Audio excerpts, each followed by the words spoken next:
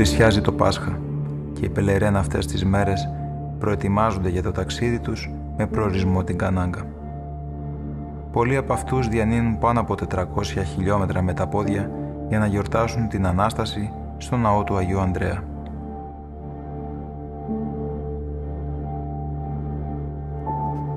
Το χαρμόσυνο μήνυμα της Ανάστασης του Θεανθρώπου είναι για τους κατοίκους της τρίτης μεγαλύτερης πόλης του Κονγκό, της Κανάγκα, που μαστίζεται από τη φτώχεια και τους πολέμους, ένας φωτεινός φάρος ελπίδας. Θυμήθηκα τις ξεθοριασμένες αφήσει που έβλεπα μικρό στην Αθήνα. Βοηθήστε τα παιδιά της Αφρικής. Ποτέ δεν είχα δώσει σημασία. Και τώρα είχα μπροστά μου τους καρπούς των ανθρώπων που δεν δίστασαν να δώσουν κάτι. Η καθημερινότητα της Ορθόδοξης Ιεραποστολής στην Κανάγκα καταγράφεται μέσα από το ντοκιμαντέρ του Παύλου Τρυποδάκη και αναδεικνύεται η πίστη που γεννιέται από τη φτώχεια, η ελπίδα μέσα από τον πόνο, το γέλιο μέσα από τα δεινά ενός σκλήρου αγώνα επιβίωσης.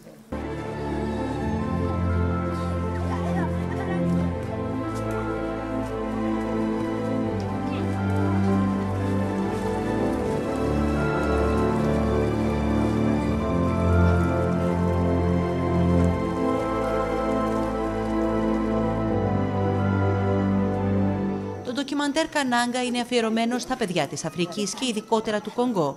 Μικροί ήρωες που αν και στερούνται τα στοιχειώδη δεν σταματούν να γελούν, να αγωνίζονται και να πιστεύουν. It is good here. It is good.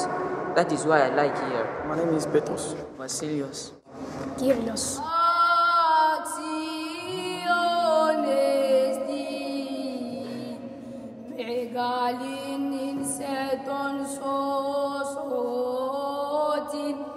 Η Ορθόδοξη Ιεραποστολή λειτουργεί σαν βάλσαμο στην ψυχή των κατοίκων ενός τόπου που βρίσκεται στο επίκεντρο μιας τεράστιας ανθρωπιστικής κρίσης.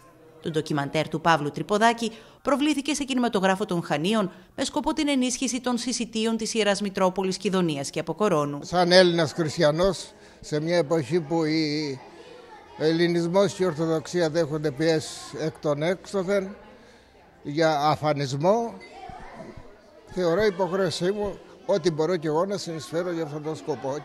Πρέπει ακόμα περισσότερο έτσι να σκύψουμε στον συνάνθρωπο που έχει ανάγκη και να προσπαθήσουμε να βοηθήσουμε και να καλύψουμε όποια ανάγκη μπορούμε. Η ταινία έχει αποσπάσει τρία βραβεία για την προσφορά της στον πολιτισμό, στην επιστήμη και στον κινηματογράφο, για την προσφορά της στην Ορθοδοξία και για την ανάδειξη του έργου της Ορθόδοξης Ιεραποστολής στη λαϊκή δημοκρατία του Κονγκό.